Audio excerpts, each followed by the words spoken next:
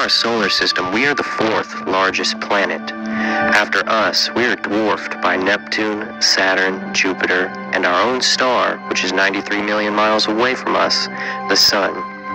The Sun is a pretty big star, but it's nowhere near the sizes of other stars that we know about. To name just a few larger stars for perspective, there's Eta Carinae, a star that is over 5 million times larger than our Sun. Betelgeuse, 300 times larger than Eta Carinae. If it were our sun, it would reach as far out as Jupiter. And then there's UY Scuti, the largest star that we know of. UY Scuti's mass is unknown, but before UY Scuti comes VY Canis Majoris, a star that is 5 billion times the size of our sun. We are a part of the Milky Way galaxy, there are trillions of stars in our galaxy, and nearly all of them are circled by at least one planet. Within our Milky Way galaxy, we are not the only solar system. So far, astronomers have found more than 500 solar systems and are discovering new ones every year.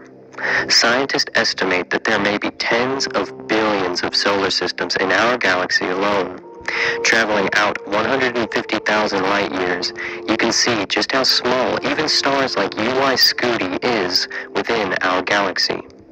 It takes our sun 200 million years to complete an orbit of the Milky Way, and 2.5 million light years away is the Andromeda galaxy, estimated to collide with our own galaxy in a few billion years.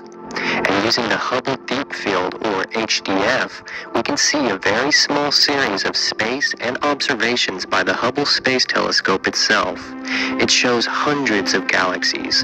Five billion light years out is the cosmic web, where billions and billions of galaxies are estimated to reside. And finally, 200 million light years out is the cosmic microwave background radiation afterglow, is what that started us. The only thing estimated to be left of the.